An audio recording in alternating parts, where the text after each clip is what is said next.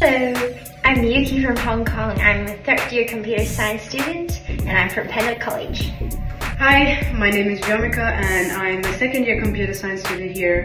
I'm from India but I grew up in Dubai and I'm I'm in Lonsdale College. And we're here to give you a tour of what our labs Yeah. look like. So Let's go. And this is the only one without computers.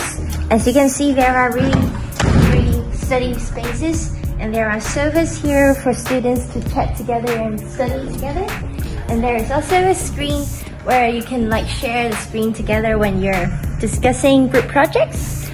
And it's a great space for studying together inside the room. my group work, my group, we come here for my group project and we sit here and this is where we study together and then we code together here. And they've made this in like a round shape to encourage teamwork rather than everybody sitting separately. And it also gives like a nice view of outside as well, which is closed right now. but And it's great there are charging places for each of the desks. So you can work together while like charging your phones or computers. So all the labs are accessed to our ID cards, which are our student IDs.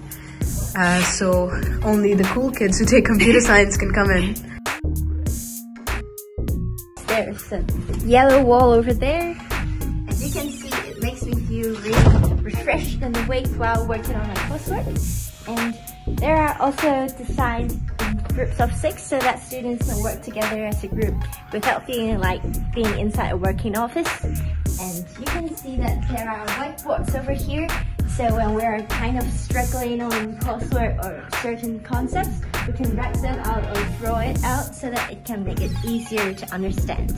Yeah, this is also where the teachers share their screen and so everybody can see them.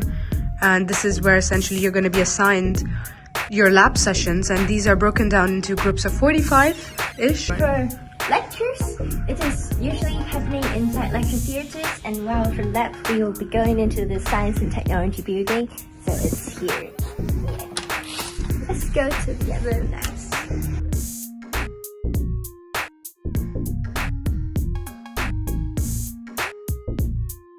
And here's the other lab. This is the lab that I've been using when I was studying in second year for my computer science group project module. As you can see, there are screens over there. So when you're working together on a group project, you can share your screen with your group mates. So it's much easier to like understand how each other's points are and like work on the project together. And here's the machine. This was actually um, a moon landing machine that a game was coded by first year students as their final coursework, which was installed in here, and everybody was allowed to come in and play, which is a great demonstration of everything you get to do here.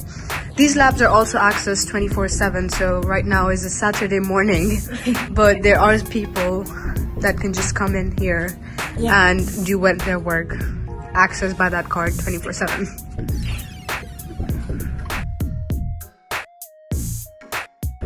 We have one more lab here, which is just similar. Yeah. So And it's got more natural light over that side.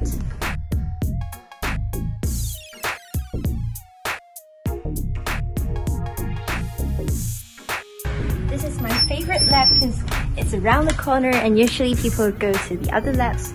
So this is the lab that, yeah. Yeah, that that's also where I have my. So you are going to be sessioned in all of these different labs diff- on different days. Again, that's where the teachers share their screen, and this is where everybody just comes together, sits and studies. And you are usually, uh, as Miyuki already mentioned, you're divided into groups of six. And this is essentially what one of the labs, another looks like. We have one over exit over there, and this one here.